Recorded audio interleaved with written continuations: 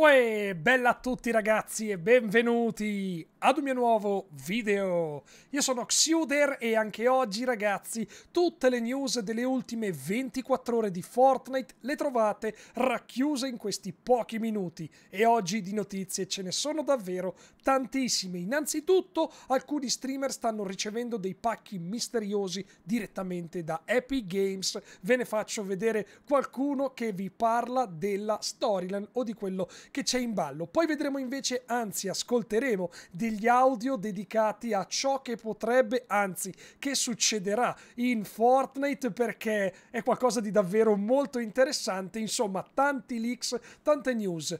Prima però volevo ringraziare tutti i ragazzi che ogni giorno mi supportano nello shop con il mio codice creator Xiuderone. Grazie mille ragazzi per il vostro sostegno, mi raccomando non dimenticate di iscrivervi ai miei canali e soprattutto di attivare la campanella per non perdere nessuna notifica con i miei video news.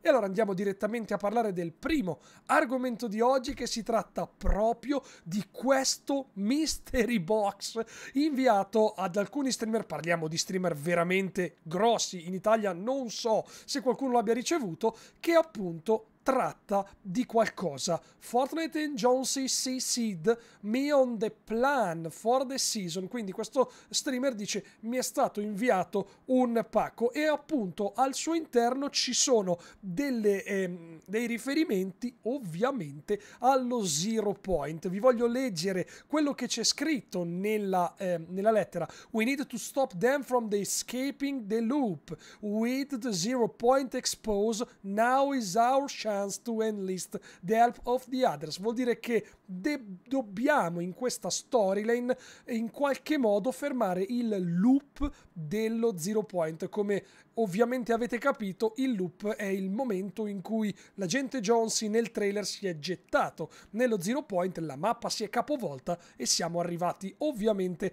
a questa mappa che ha degli elementi della mappa precedente, quindi tutto collegato. Ovviamente non sappiamo come si potrà fermare, lo scopriremo di certo andando avanti con questa stagione che vi ricordo finirà a marzo e ovviamente avremo delle patch che ci delucideranno un pochettino di più. Appena io saprò qualcosa, lo saprete anche voi. E andiamo avanti ragazzi perché nel box, scusatemi, c'erano dentro un sacco di cose oltre a quella lettera. Una tazza da tè, degli occhiali da sole, eh, necklace credo che sia una collana, eh, peanut butter cups, quindi boh, roba anche da mangiare, tipo Sherry Blossom Tea, Space Bananas, e poi c'è l'Ant Farm, quindi c'erano proprio delle cose dedicate ad Ant-Man, come abbiamo visto nella season precedente, delle caramelle, delle pitture per la faccia, ermetti, insomma, era davvero un sacco pieno di roba. Che figata! Lo voglio anch'io. Epic Games, mandamelo anche a me, porca miseria. Andiamo avanti a parlare del prossimo argomento di oggi perché invece questa è una cosa davvero super interessante. Ieri è uscita la skin di Kratos di God of War, ma ve ne parlo nuovamente tra poco perché c'è un bel collegamento.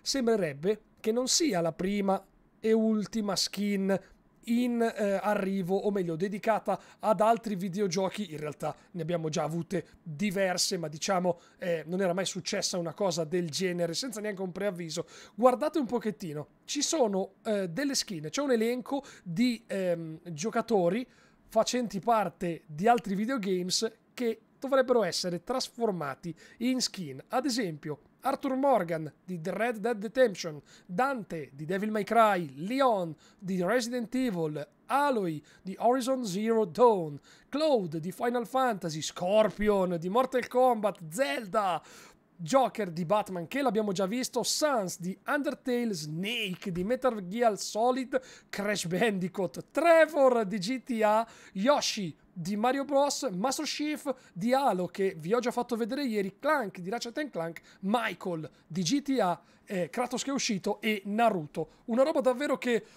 arriva come uno schiaffo, diciamo, perché wow, questi sono personaggi importantissimi nella storia dei videogiochi, quindi staremo a vedere ovviamente che cosa hanno intenzione di fare. Andiamo avanti a parlare del prossimo argomento di oggi. Questa è la skin intanto in alta definizione di Halo. Ieri ve l'avevo fatta vedere ma non era così bella. Oggi ve la mostro eh, colorata molto meglio. Questo invece di vi volevo parlare. Kratos, skin del Kratos, subito velocissimi. Il trailer ragazzi che sicuramente avrete visto anche voi. Come vedete c'è il sergente Frittella, li chiamatelo un po' come vi pare, che si aggira in una foresta e ad un certo punto dal nulla un lupo mannaro porcaccia la miseria, il lupo mannaro è un qualcosa di super interessante. Nel trailer arriva la skin di Kratos che come vedete lo spaventa, schiaccia il lupo mannaro e eh, lui scappa via. La figata è che arriva una conferma molto interessante da un leaker, da un data miner che dice Wolves will be added to the game later this season. Andando avanti in questa stagione verranno aggiunti i lupi mannari. Porca miseria porca. Non ho idea del perché, non ho idea del come mai, ma ho idea che qualcosa di super interessante sta per arrivare insieme ai lupi mannari e lo scopriamo. Intanto vi faccio vedere delle immagini bellissime di, ehm, del concept che stanno facendo per la controparte femminile di Mida. Anche ieri vi avevo anticipato qualcosa, ma questo è quello che mi interessava. Ehm, sono stati trovati nei file di gioco determinati file audio che stanno ad indicare un mini evento che potrebbe potrebbe accadere nel eh, piano segreto che c'è nell'edificio dentro, ehm, io la chiamo la giungla, non mi ricordo ancora il nome, comunque quella location in alto recintata con tutte le foreste. Vi voglio far eh, sentire quello di cui vi sto parlando ragazzi, guardate un pochettino, anzi ascoltate che roba. Se parte.